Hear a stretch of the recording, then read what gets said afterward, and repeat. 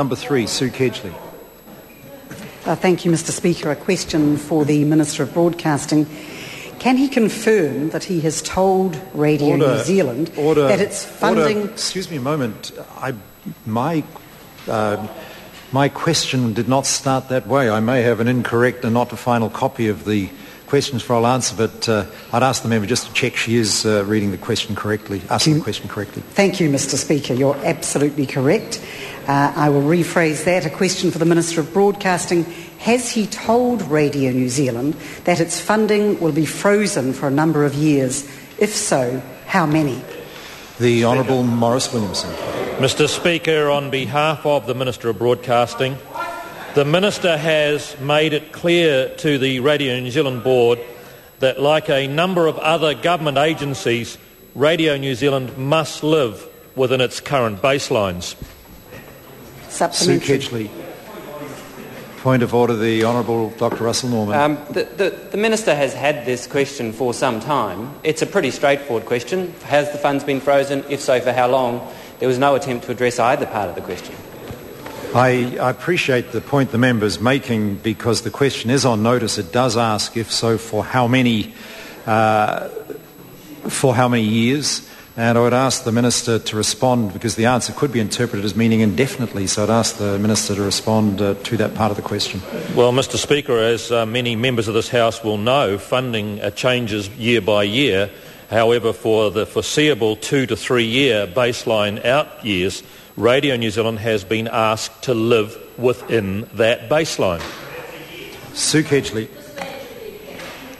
Why is he ignoring the advice of the Board and Chief Executive of Radio New Zealand that current funding levels are already unsustainable, that any freeze in funding will undermine the quality and standards of Radio New Zealand and its charter?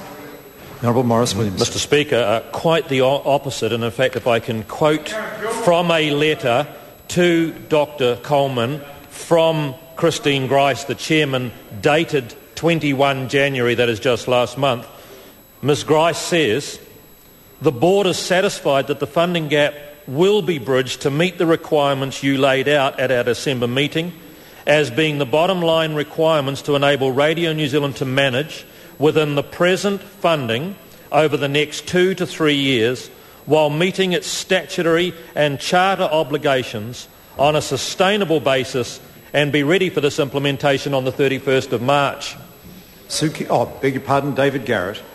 Uh, supplementary to the Minister, does the Minister know how many people listen to Radio New Zealand through the radio ratings, or is he, like the rest of New Zealand taxpayers who fund it, kept in the dark about listener numbers? The Honourable Maurice Williamson. Mr Speaker, on behalf of the Minister of Broadcasting, I don't actually... Mr Speaker, on behalf of the Minister, I don't actually have those uh, ratings, but I think they're very well publicised. Sue Kedgley. Isn't a freeze in baseline funding really a cut when other costs for rent, transmission, power and so forth are all going up? The Honourable Maurice Williamson. Mr Speaker, no, it's not. Actually, many government organisations find a number of various ways that they can make savings, savings they should have been making over many years, and those savings can allow for at least the same, if not even a better, product to be delivered over time within those baselines. Sue Kedgley. Why did he give Radio New Zealand Board an ultimatum, change their mindset and adopt a more commercial approach or else in his letter to the chair of Radio New Zealand Board on the 2nd of February? The Honourable Mr. Maurice Speaker, Williamson. Mr. Speaker, on behalf of the Minister of Broadcasting, the Minister hasn't given any clear direction to Radio New Zealand about what they must do to achieve the goal. All he has asked them to do is to make sure they can work within their baselines and to reply to him in detail about how it is that they will achieve it. So all the rumour mongering and scare that the Minister has directed them to cut FM or directed them to start getting sponsorship is not correct. Sue Kedgley. So, supplementary, yes.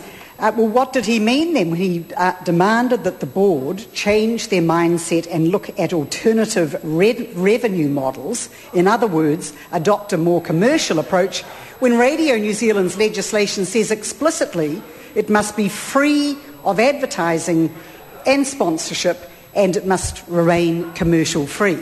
The Honourable Maurice Williamson. Speaker, on behalf of the Minister, sir, I'm, I'm, first of all sort of quite perplexed about why the questioning carries on, given that I've read a letter from the chair of Radio New Zealand who says we can deliver all our statutory and charter obligations from within the current baselines. So what it is the member is on about, I'm really not sure.